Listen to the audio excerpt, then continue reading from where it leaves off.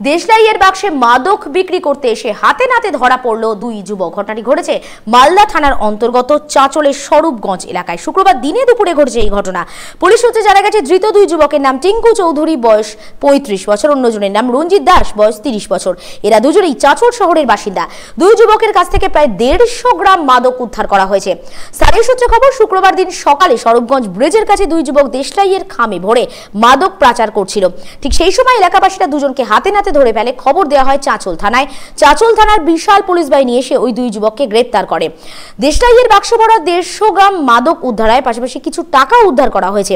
এলাকাবাসীর অভিযোগ এলাকায় প্রায় মোটরবাইক সাইকেল চুরি হতে থাকে। এরা দুজনেই এই সমস্ত জিনিস চুরি করে সেখানে বেচে সেখান থেকে ড্রাগস কিনতো। এর আগেও রঞ্জিত দাসকে ড্রাগস লেনদেনের সময় হাতে নাতে ধরেছিল পুলিশ। এই দিন ওই দুজনকে গ্রেপ্তার করল চাঁচল থানার পুলিশ। এলাকায় ছড়িয়েছে চাঞ্চল্য।